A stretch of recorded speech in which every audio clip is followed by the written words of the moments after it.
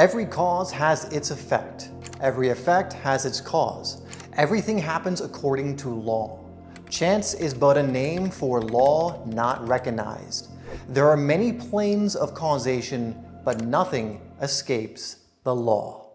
What if pretty much everything in your life is simply an effect that has a cause? That pretty much everything is not down to random chance. And even more, what if you could actually have a massive influence over these causes, which means that you would actually have a massive influence on the effects in your life? Essentially, this would allow you to influence reality in a way that brought the things you want in your life into your life. Well, this is more than just a what if thought experiment. This is a very real law of the universe that you can tap into, work with, and use to your benefit. In Hermetic wisdom, it is simply known as the principle of cause and effect. There's also a principle or law known as the law of balance, which we're going to dive into in this video. And so many of the successful people you see today living the life of their dreams, living in states like joy, abundance, peace, prosperity, gratitude, love, not just in the financial uh, world, but also in the internal world. They are genuinely enjoying their lives. They are aware, for the most part, of this principle, and they use it in their lives intentionally. And after this video, you're not only going to also be aware of this principle, aware of this law, how it works, but you're also going to know how to use it to great effect in your life so you're actually getting results. And be aware, this is not necessarily new information or new wisdom. This is actually information, wisdom, a system that ancient civilizations have used. Ancient masters, people throughout the ages who have known about it have used it and implemented it to live the life of their dreams and to activate what we can call their reality creation abilities in incredibly powerful ways. And the thing is, it works just as well today as it did 100 years ago ago, 200 years ago, 5,000 years ago. So let's get you on the path to being able to utilize this powerful principle, be able to work with it, and start getting results in your own life. So, what is cause and effect? Now, you're probably familiar with at least cause and effect on the physical plane of existence. We're all taught that to some degree. You know, certain causes have certain effects. If I slap myself, for example, and I that's the cause, well, the effect is it's probably going to be painful. There'll probably be a red mark on my face. You know, there's certain kind of actions and reactions and things to certain things that happen on the physical plane. Uh, we can see this with Newtonian physics and certain physical laws that we understand. But the thing is, cause and effect is not strictly a physical thing. It happens on all planes of existence. And so if you're aware also of the Hermetic principle of correspondence, which you probably have at least heard of because if you've ever heard the saying, as above, so below, or as below, so above, that is coming from the principle of correspondence. And so to keep it very simple, uh, think of it in this way. There are three planes of existence we're going to work with here. That is the plane of spirit, the plane of mental or mentalism, and the plane of the physical. And so you have these three planes of existence spirit, mental, and physical and they all are in correspondence with each other. What does that mean? That means that causes and effects on one of these planes will influence cause and effects or have causes and effects on other planes of existence. Now, to give you a simple example, one you can easily connect to, is you've probably heard of the idea that thoughts are things, that we become what we think about. The Strangest Secret by Earl Nightingale goes over this over and over again. You become what you think about. Why is that? Because on the mental plane where thoughts and imagery and these kinds of things exist, if you are thinking in one way, you are activating certain, certain causes that create certain effects on the physical plane. Now, the cause is happening on the mental plane, but the effects also show up on the physical. Again, to relate it to the spiritual plane, it could be that you are entertaining certain emotions. And let's say your in emotions we'll go on the positive side. You feel joy and gratitude and love in these emotions most of the time.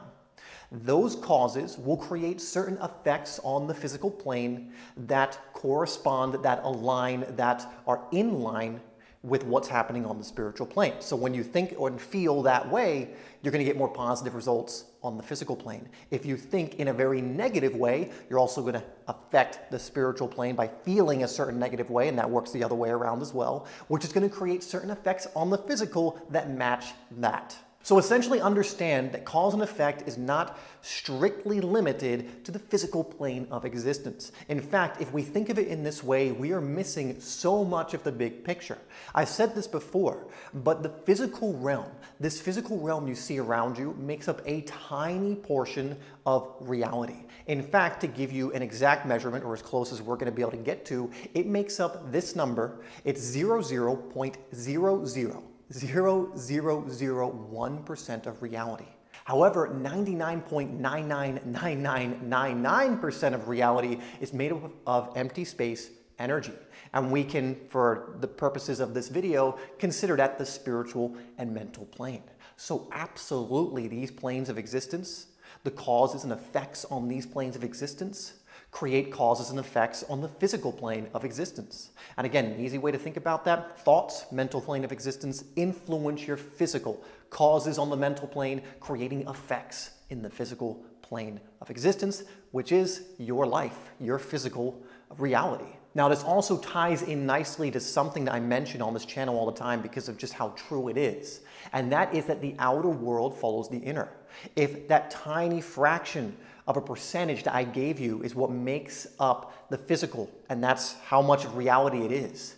Well, then the outer, which is that reality, follows the inner, the spiritual and mental plane, meaning the effects on the physical are more influenced by the causes on the spiritual and mental planes than anything else. Why is this important to understand? Because we want to start giving our attention more to that inner world, to the world of the mental, to the world of the spirit, that the physical and your life in the physical is born out of. We're also going to talk about the law of balance, which ties into this as well. And I just want to give you a more complete understanding of how cause and effect works in your life so that you can start intentionally creating more causes that have favorable effects in your life. And how amazing would that be if you just knew how this process worked so that you knew how to think, you knew how to image, so visualize, you knew how to get yourself to feel a certain way so that it created beautiful effects in your life that were favorable, served you, and set you on a trajectory you actually wanted to be on. Not only is it possible, it is probable when you learn this and begin to apply it. So now we're going to touch upon the law of balance, which is so crucial to understand when it comes to cause and effect, and so many of the other things you're going to learn. A lot of it is going to come back to this law of balance. This is what's going to help you more master the law of attraction, manifestation, reality creation, understanding, and more importantly, applying this principle, this law in your life. And now to expand the law even more precisely, it is the law of balance and harmony. Now, this law essentially states that the universe, source, God, the all, is always seeking balance and harmony. Now this occurs at different rates of vibration on each plane of existence. And I'm not going to dive too much into what that means. Um, you know, we can look at the principle of vibration. Essentially at each plane, you know, the um, vibration of each plane is very, very different to different varying degrees. At the physical, it is the most dense. Um, at the spiritual, it is the most high, the faster rate of vibration. But essentially with the law of balance, on each of these planes, the universe will just say for now, or the all, is simply trying to balance and harmony, and I'll explain what this means and how this happens. So essentially understand, again, like I mentioned, on each plane this is different. Um, when you talk about the spiritual plane, for example, it's instantaneous. For example, if I told you to feel love or joy, I could probably lead you to feeling that pretty instantaneously. Here's an example. I want you to think of someone that you love or a scene in your life, a memory that you know you just feel so fondly of. I just want you to close your eyes and just put your focus on that scene. And just for a few seconds do that Open your eyes and how do you feel? Do you feel differently than you did just a moment ago? Unless you were already in that state, you probably do. You probably notice that that shifted very quickly. Congratulations, you just raised your vibration on the spiritual plane of existence fairly instantaneously. The mental plane of existence can be similarly instantaneous, where you can think of a certain thought. For example, if I say think of a pink elephant, you're probably thinking of a pink elephant. And again, where you put your focus is where your energy is going to go. Now, the physical realm is much slower. This is coalesced energy, coalesced focused energy in particular directions that allows for the physical world to exist. Believe it or not, everything you see around me, um, everything you see around yourself, is actually energy, just at a more dense rate of vibration, a slower rate of vibration, so it appears physical. But if we had the right scientific instruments on us right now, we could look at these objects and you would find that it actually is made up of energy and it's just vibrating in place to create this illusion of the physical. Now, why this is important and why I need to mention this when we go over the law of balance is because if we achieve certain things on the spiritual plane and the mental plane, it'll lead to certain occurrences on the physical by law, as in it has to happen. And I'm going to explain how that works, and it may even blow you away when you learn how this works. So essentially, if you are thinking certain thoughts in the mental plane of existence, you're imaging, you're visualizing certain things. And let's say it's your dream life. Let's give a positive example. So you're thinking of your dream and your dream life, and you are rooting yourself there. You're thinking about it all the time. And on the spiritual plane, you feel so good. You're in energies like enthusiasm and happiness and joy and love. You're thinking of this thing that just your heart is so lit up by. Your intuition, your soul is imaging these things, it's creating these emotions, and you're able to do that for an extended period of time.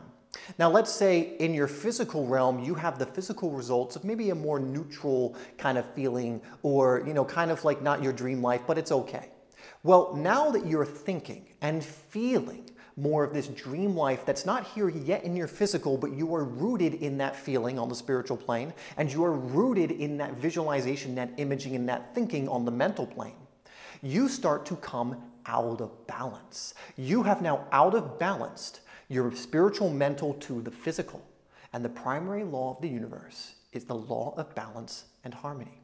And so, balancing forces by law have to come in and maintain equilibrium, maintain balance and harmony. There are only two ways in which this can happen. I'll tell you the most common way that happens with most people, and you may be able to recognize this one happening to you. This happened to me plenty of times in the past. It happens to everyone. And then I'll go over the ideal scenario that we're aiming for. So the first way in this scenario that the universe, that these balancing forces balance, is it gets you in one way or another. Chaos ensues, there's a storm or something in your life, and so you stop thinking about your dream, thinking positively, you start getting focused on the problems at hand in your physical world. You get hooked into the drama. You start dropping into fear and apathy or guilt and shame. And you drop your spiritual plane to a lower conscious level, your mental plane to a lower conscious level, and suddenly those have dropped and are now in balance with your current physical reality. And so the universe goes, balance and harmony has been maintained, we are done here. And that's ideally not what we want, right? And this happens to a lot of people when they go on this journey. You know, they've lived a life they would consider not fulfilling their potential fully. They learn some of this stuff. They get excited. They get enthusiastic. They're thinking of their dream. They're feeling these feelings. They're like, this is amazing. And then something happens. Some chaos comes out in their life. A bill comes in, right? An unexpected expense. Someone leaves their life. Certain things that actually need to happen to get you ready for what's next start happening. And so you take a step forward, but then you take a step back, and then things are balanced again. But here's the ideal scenario.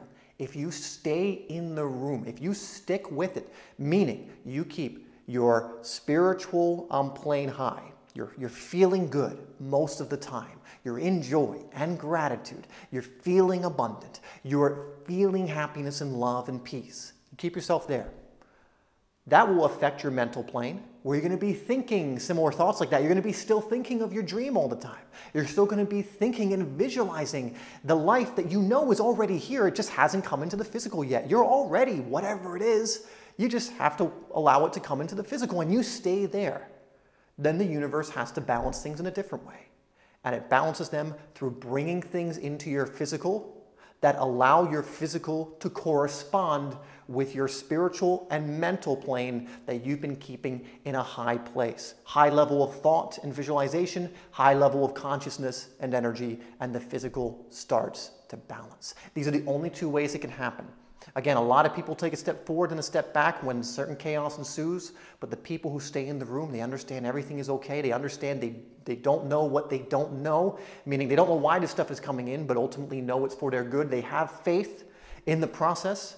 They come through that storm calm and unscathed, and on the other side, this new beautiful reality that is matched to that spiritual plane that they stayed on, or that level of vibration they stayed on there, and the mental plane they find the match in the physical. It just takes longer for energy uh, to coalesce and gather and shift on the physical because it's more dense. Essentially, the causes you are creating in your inner through the, um, through the spiritual and the mental are going to produce new effects in your physical. And your job is to get out of balance so that you can invite in balancing forces to rebalance your physical to a new level of coherence, clarity, and harmony. Now at the end of this video, I am going to link you to another video that goes even deeper in how the law of balance works. In fact, I'm going to teach you in that video how to do this at the cellular level so that your cells are vibrating.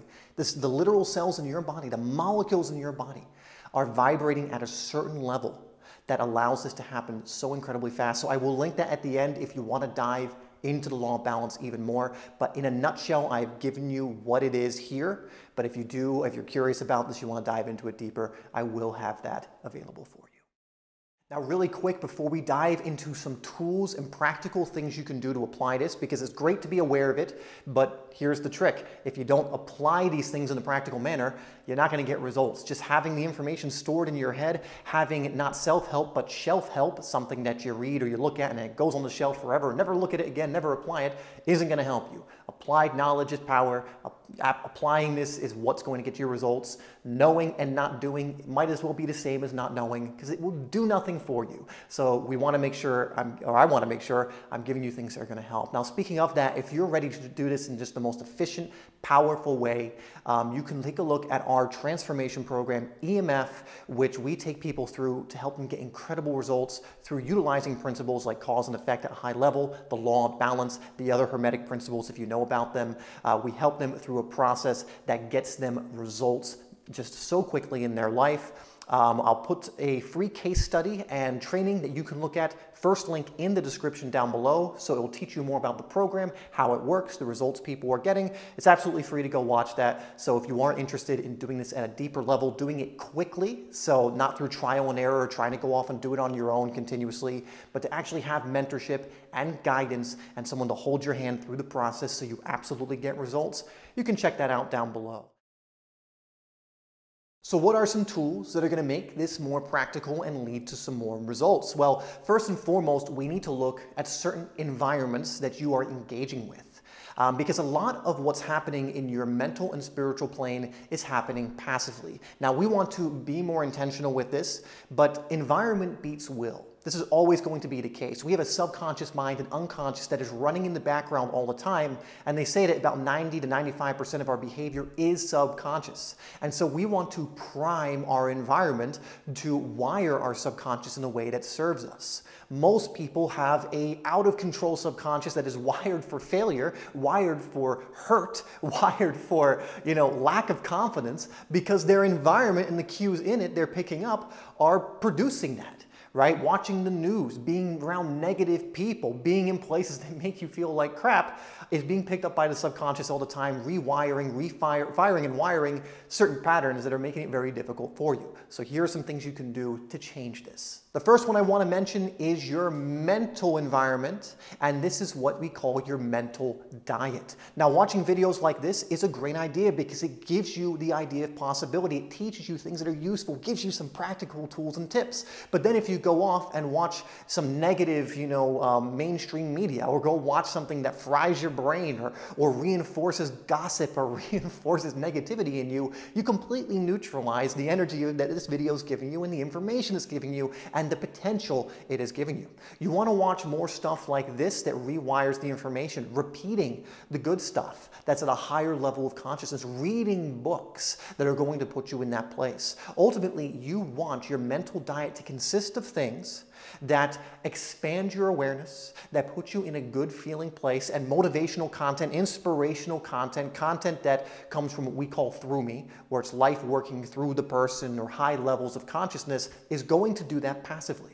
And so as you're listening to things, for example, one exercise I have is every single morning I listen to audios and read books or watch videos that fill me up with good energy. It's also good information. It comes hand in hand a lot of the time, but also good energy from mentors and guides that I trust because I know that's going to set me up for the day from a high place and anchor me in a high place of energy.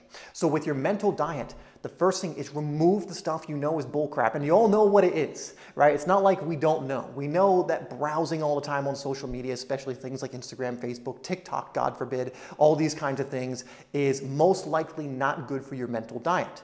And just think of your mental diet in the same way as your physical diet. If you eat a bunch of junk food and you don't exercise and all these kinds of things, what happens? You put on weight, you get disease, dis-ease. But it's the same for your mental diet. Imagine when you're on TikTok or Instagram and you're consuming something that's negative or, or kind of lust-based or something that's, you know, really appealing to cheap dopamine or whatever else. Imagine it for your mind, you're eating donuts and junk food and everything else. Whereas you're watching a video that's inspirational, you're reading a book that lights you up or connects so deeply, imagine that's you eating this beautiful, organic, from the earth, natural foods that energize you and nourish your body.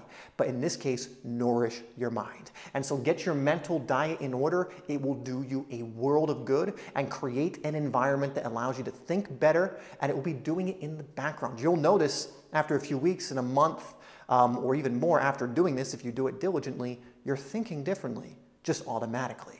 The next environment is your peers. And this is probably one of the most important because it utilizes so many of the other environments. Again, if you're around negative people, then your mental diet is going to take a hit because you're going to be picking up not only on verbally what people are saying, but their physical cues, their energy, their thoughts. You may not know what they're thinking, but we can pick up on the energy of thoughts. And so if you're around someone who thinks negatively all the time, you are absorbing that into your mentality, into your energetic body. And so the people you hang out with, it is crucial that you hang out with people that will be midwives to your dream not dream killers. And a lot of people hang out with dream killers. And that doesn't mean don't be nice to people, don't be kind or treat them like they're some kind of leper. No, not at all. Give love to everyone.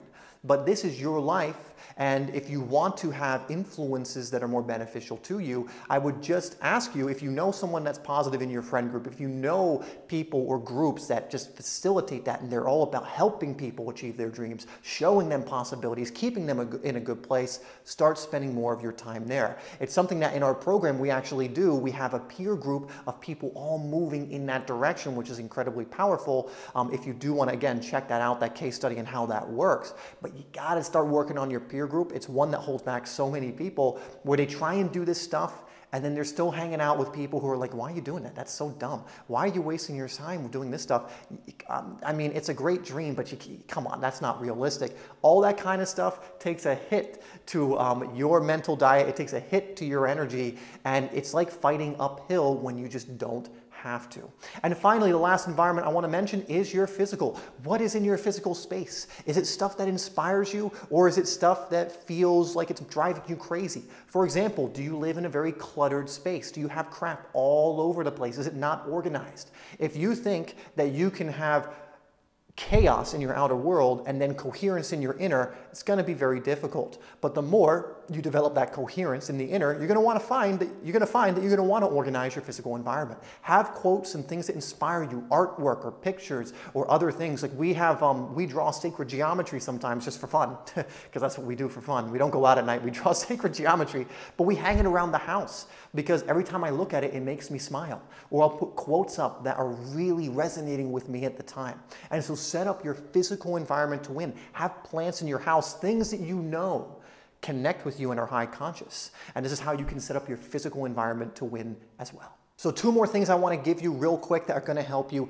This next one is crucial and it, it, may take some time to fully integrate and understand it, but I need to give it to you and it's feel good now. You know how I mentioned what you're doing on the spiritual and mental planes are having so many effects on the physical. Feeling good now is raising your vibration on the spiritual, which causes amazing effects on the physical. Now, when those effects come in, you have to take the opportunity or the person that's come in for you or the event or whatever else it is. But when you feel good now, most of the time, you don't just visit good feelings, you start living in good feelings, great things start to happen on all planes of existence. It has effects on all of them.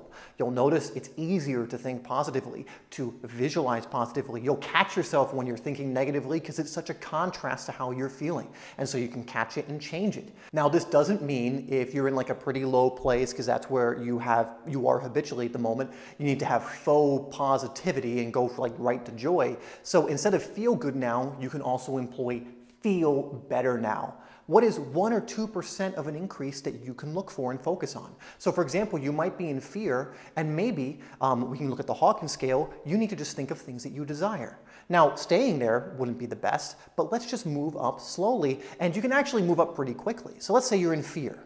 One other thing to, that's good to do when you're in fear is transmute it to courage through the law of polarity, but we'll, that's for another video.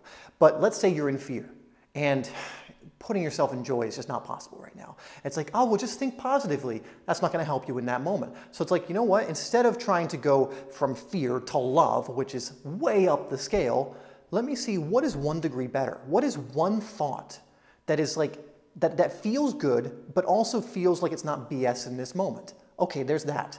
But now you're in a new place. So now you're at this thought and this feeling. What is one degree, two degree higher than that that I can think, think of? Okay, now I'm there. And you'll notice as you keep doing this that after like five minutes, you're not even close to fear and you're in a completely much better place. And so feeling good now or feeling better now is always a priority. You can let yourself stew in these lower levels of consciousness. And that's a choice, and it can feel easier to do that when you're there.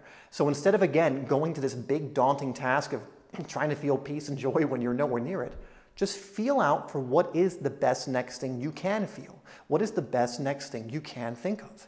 And then just grow it inch by inch from there um, just very quickly. And finally, letting go techniques are so crucial. If you find habitually you keep lowering your energy, keep going to this low place, there might be things you're holding on to uh, energetically in your body, uh, certain patterns that you keep tuning into, certain things that are in your energy body that get triggered all the time and activate certain thoughts that it's coupled with and combined with. You have these energetic anchors pulling you down, which means it's not time to add anything, it's time to focus on releasing certain things. And so letting go techniques like looking at David Hawkins' book, literally called Letting Go, the technique in that book, or the Ho'oponopono meditation, which is a Hawaiian technique, which is an amazing technique to start letting go of things. I would highly recommend you look into these things. Um, I do have a video on letting go that you can look at on the channel, just typing um, letting go or shadow work, I believe, on the channel, or just look down at some previous videos, you'll find it. Uh, that's going to be really helpful because again, if you're trying to do all these new things while holding on to energetic anchors that are weighing you down, well, again, you're, you're not going to get very far. You need to focus on letting go of these things that keep dragging you down even when you start moving up. And you'll find that once you release these things, you start to naturally rise anyway. Now I mentioned I was going to give you a video at the end that shows you how to use the law of balance to literally balance your cells in a way energetically to start bringing about things in the physical at such a deep level. So I'm going to link that right here so you can go ahead and watch it. It's going to go over the law of balance in more detail, how to affect yourself at the cellular level, literally the molecular level, so you're vibrating in a way that causes things to come flying into your reality that you want.